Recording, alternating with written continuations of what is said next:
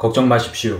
제가 한국도핑방지위원회에서 김종국 형님 도핑 테스트 안 한다고 떼쓰는 영상 찍을 삼류 레카는 아니죠. 카다는 국가대표 등 엘리트 체육인을 위해 운영 중인 국가기관이니 그 어떤 유명인이 부탁해도 비선수는 안 되는 게 맞습니다. 근데 우리 카다와 같은 기관인 미국의 USADA는 우리처럼 엘리트 체육인들에 대한 검사만 하는 게 아니라 각종 사설 리그나 대회가 깨끗하게 치러지도록 도핑 테스트를 해줍니다. 대표적으로 UFC가 우사다에게 도핑 테스트를 일임한 후 존 존스, 오브레임 등 약물 사용자들을 대거 적발했고 과거 도핑의 대명사 암스트롱도 우사다의 표적이 된 후로 약물을 사용할 수 없었죠. 그래서 우리 카다도 엊그제 성황리에 세미나 열어서 높으신 분들 기념사진 촬영할 시간에 거기서 도핑 격파! 외치면서 송판 격파할 시간에 연예인이지만 우리나라 피트니스 문화에 가장 큰 영향을 끼치는 사람을 도핑 테스트하고 국민들에게 정보 공개하는 것보다 도핑 방지를 위한 교육, 홍보에 효과적인 일이 있을까요? 카다에서 김종국 형님의 도핑 테스트 거부 이유가 절차상 문제와 함께 비용 문제라고 답한 것을 보면 카다가 우사다처럼 돈을 받고 사설 검사를 시행하지 않는 게 아쉽습니다. 우리나라 피트니스 문화는 이제 비인기 엘리트 체육 종목인 보디빌딩이 아닌 국민들이 직접 즐기는 생활 체육으로 자리 잡았습니다. 각종 생활체육 대회와 유명 운동 유튜버들이 즐비하고 약투 운동 이후 그들의 약물 사용 여부를 궁금해하는 대중들이 많아 카다에서 사설 도핑 테스트를 할 필요성이 있으며 하게 된다면 운영의 적자가 나지도 않을 겁니다. 이번 김종국 형님처럼 약물 사용을 의심받으며 스트레스 받는 이들이 많고 그들은 사비를 내서라도 natural 검증을 받을 수 있다면 흔쾌히 응할 겁니다. 우리나라는 엄연히 스포츠 약물인 스테로이드와 에페드린 등이 불법이며 올해 불법 약물 사용자 처벌 법안이 통과돼 내년 7월부터 불법적으로 약물을 구입하거나 사용하거나 소지해도 처벌받는 바 이와 함께 카다에서 사설대회와 유명인을 대상으로 도핑 테스트를 할 수 있게 그 기능이 확대된다면 우리 국민들이 더 건강하게 생활체육을 즐기고 특히 불법 약물을 사용하는 유명인을 보며 잘못된 꿈을 키우는 어린 친구들이 약물의 부작용으로 안 좋은 일을 당하는 사고도 방지할 수 있을 겁니다. 최근에 과거 우리나라 대표 보디빌더가 약물 부작용에 의해 사망한 사고와 장기 손상 사례가 있었고 그들이 박태환 씨처럼 유명하지 않아서 문제가 되지 않았지 앞으로 유명 보디빌더에게 그런 일이 일어난다면 여론의 화살은 도핑 테스트를 하는 카다와 불법 약물을 관리하는 식약처를 향할 겁니다.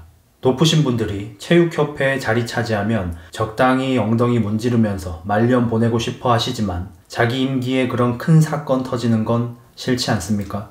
그리고 정말 대한 보디빌딩 협회는 뭐 하는 곳인지 모르겠는 게 얼마 전 열린 미스터 부산 선발대회 사진입니다. 김종국 형님보다 몸이 3배 정도 좋은 출전자가 보이네요. 제가 이번 사태에 다소 민감하게 반응하는 이유가 정작 약 꼽고 대회 뛰고 돈 버는 것들이 대놓고 있는데 애먼 사람만 잡으려고 혈안이기 때문입니다. 황철순은 약 써도 되고 김종국은 약 쓰면 안 되는 지금 여론이 말이 됩니까?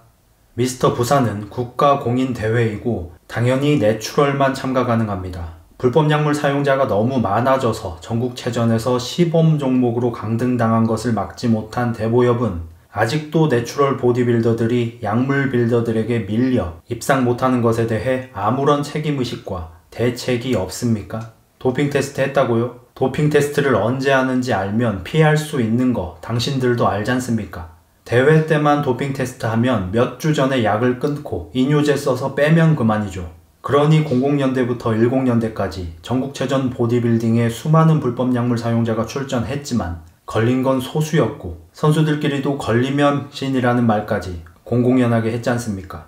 USADA가 약쟁이들 어떻게 잡았습니까? 상시 도핑 테스트를 해야 합니다. 불시에 찾아가서 채혈, 채변해야 하고 샘플 보관해서 새로운 적발 기술이 나올 때마다 재검사해야 합니다. 우리나라에서 그걸 할 수 있는 기관은 카다가 유일하죠. 이제 보디빌더들이 도핑 테스트를 피해 사설 대회 뛰고 있습니다. 카다가 사설 도핑 테스트를 할 수 있어야 그 사설 단체들을 감시할 수 있고 사설 대회들의 도핑 테스트가 제대로 진행돼야 보디빌더들이 다시 대보협 대회를 뛸 겁니다. 이게 대보협이 살 길이에요. 대보협은 대체 일 안 하고 뭐 합니까? 과거에 선수들 약 바는 거 뻔히 알면서 쉬쉬하며 대중들 눈만 속이면 돼 하는 눈 가리고 아웅식 운영하다가 전국체전에서 강등당하고 사설대회에 선수들 다 뺏기고 자기들이 주관하는 대회 수준은 낮아지고 그마저도 이번처럼 약쟁이가 나와서 양민학사라는 무슨 핵쟁이가 판을 치는 36게임에서 보는 기분입니다. 대보역 뭐 하는지 업무 보고 좀 보려고 홈페이지 들어가니까 돈 되는 코치 아카데미 수강생 모집만 오지게 하고 있던데. 김종국, 그 연예인이 약을 하든 말든 뭔 상관임? 하실 수 있습니다. 근데 이런 일들이 하나의 상징이 되고 역사가 됩니다. 보디빌딩이나 헬스에 관심이 없던 대중들도 김종국 형님 사태를 보며 약을 쓰는 게 되게 안 좋은 거구나 알 수 있고 이번에 카다에서 김종국 형님의 도핑 테스트를 진행하게 된다면 앞으로 대중에게 영향력 있는 인물들이 불법 약물 사용을 지양할 거고 그게 깨끗한 피트니스 문화를 지키는 큰 방벽이 될 겁니다. 때를 놓치면 다시는 기회가 없을 수 있습니다. 대보역도 초창기 약물 사용자들 몇 명 나올 때 잡을 수 있었던 거 안 잡다가 전국체전 보디빌딩이 망해버렸고 약투 때 고자 얘기로 놀리기만 하고 제대로 된 처벌을 안 해서 오히려 당당하게 불법 약물 쓰는 보디빌딩판이 되어버렸듯이 이번 기회가 지나가면 더 더러운 피트니스 문화로 이어질 겁니다. 흑자 헬스 합시다. 제발. 바이바이. 오늘은 노래 부를 기분이 아니네요.